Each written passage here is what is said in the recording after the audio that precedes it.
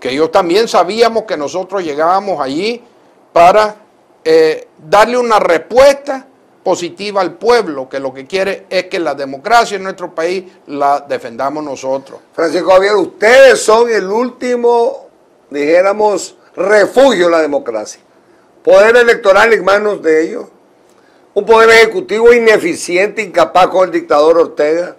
Una Corte Suprema de Justicia que te quiero decir, Francisco Javier, me hablaba el diputado Carmen Cada, ¿cómo es posible que vimos a magistrados como la magistrada Juana Méndez y otros, y ex magistrados que debían de tener cierta dignidad, y jueces y magistrados de Corte de Apelaciones, marchar para irlos a apedrear a usted y tirar morterazo. Entonces ese Poder Judicial carece de toda legitimidad y de todo aprecio ahora en Nicaragua. Pero fíjate qué interesante, porque ahora que estamos, ahora pasó adelantamos la película, llegamos allá o estamos por llegar allá y vemos buses que están cerrando todo el perímetro alrededor de la Asamblea Nacional. Para no dejarlos entrar. No nos dejaron entrar a ninguno de los diputados democráticos, aunque varios intentaron. Por ejemplo, Maximino Rodríguez, diputado por Matagalpa, quiso penetrar en el perímetro y de una manera muy, muy vulgar le dijeron que él no tenía derecho de entrar, siendo representante del pueblo, a la casa del pueblo, que es la Asamblea Nacional. Entonces nosotros nos reconcentramos, ya llegaste vos, al 380, ¿verdad? Y después decidimos, de acuerdo con las otras bancadas democráticas, reunirnos en Holiday Inn, que queda nosotros enfrente, prácticamente. Entonces, entonces Allí se dan una situación muy incómoda. Poco minutos después de que nosotros entramos allá, llegan a la Holiday Inn o al Hotel Holiday Inn un poco de motocicletistas del Frente Sandinista. Pero decime, Francisco Javier, lo, ¿logran ustedes tener desde un inicio los cuatro directivos de la Asamblea Nacional? Porque René Núñez dice de que no había quórum porque no estaban los miembros de la Junta Directiva. ¿Podrías decir? Excelente, excelente pregunta.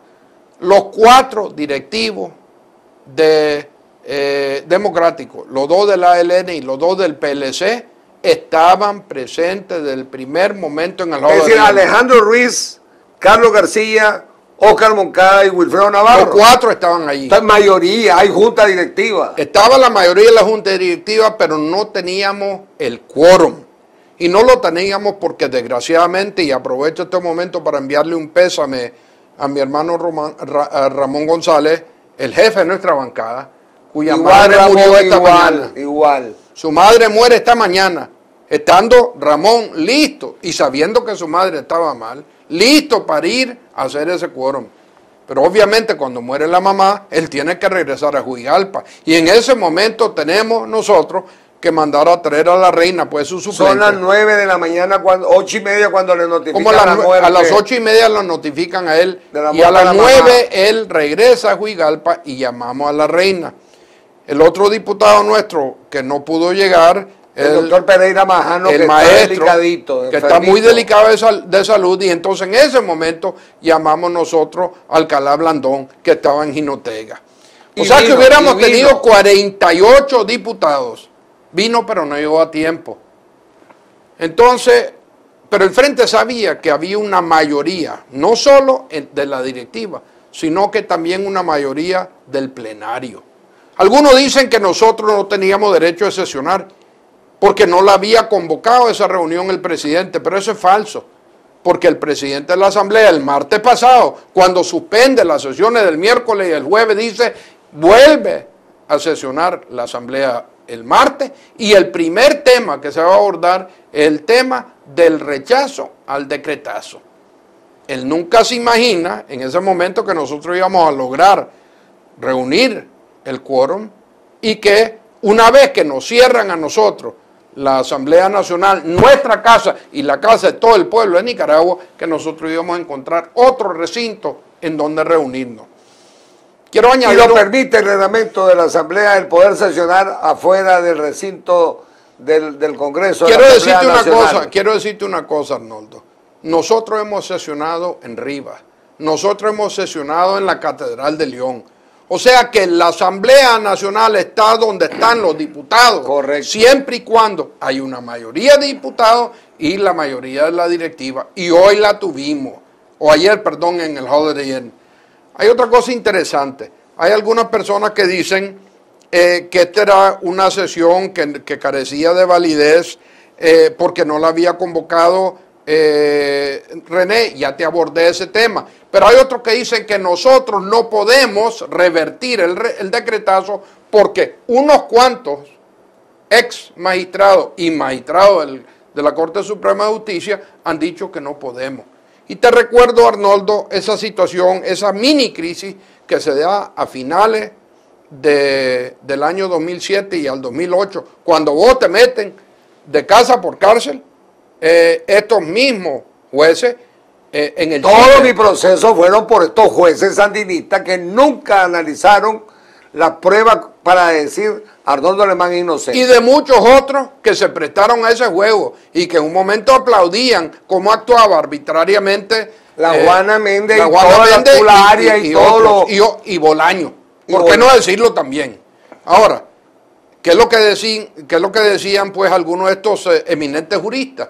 Que nosotros no podíamos proceder con ese proceso de formación de ley porque eh, ya la habían, eh, la habían declarado inconstitucional unos cuantos ex jueces y jueces sandinistas. Pero acordate bien lo que pasó en enero del año 2008, Arnoldo. En ese momento, la Corte en pleno reconoce que el Poder Judicial no puede interrumpir la formación de una ley. De una ley.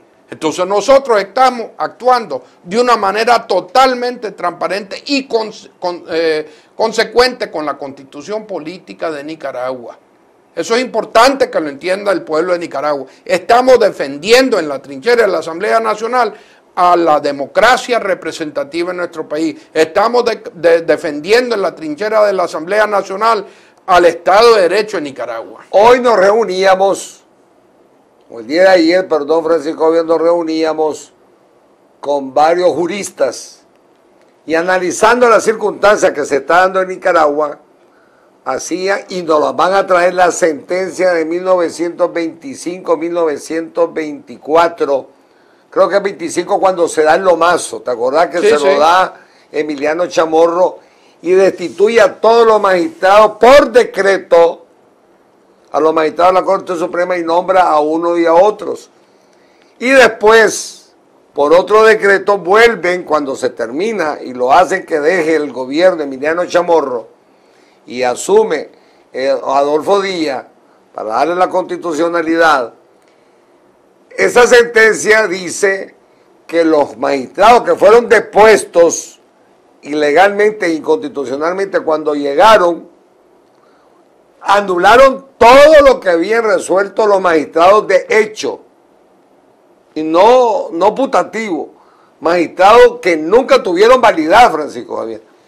Y entre la resolución de esa sentencia dicen la teoría del tú cuoque, que es tú también, y aducen que si la asamblea había legislado o había interpretado, ellos como Corte Suprema también podían hacer interpretaciones y declararon nula todas las acciones o sentencias que habían emitido esa, esa corte falsa o nula completamente. Ustedes ahora, Francisco Javier, ustedes pueden dos cosas.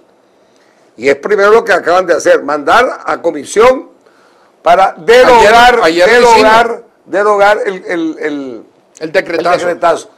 Y pueden, Francisco Javier, ahí el decir con la misma teoría asentada en una sentencia de la Corte Suprema, el tucuoque, declarar la sentencia de octubre en donde los espurios magistrados legislan, porque acordate que esa, esa, esa sentencia que dijeron es, no existe el artículo 146, 147 y tiene derecho a reelegirse Daniel Ortega. No puede, porque los únicos que pueden reformar la constitución son ustedes, Francisco Javier. Arnoldo, eso fue una de las barbaridades que fue rechazado por una mayoría de los diputados. 50, creo que 50 fueron los que eh, rechazamos eso y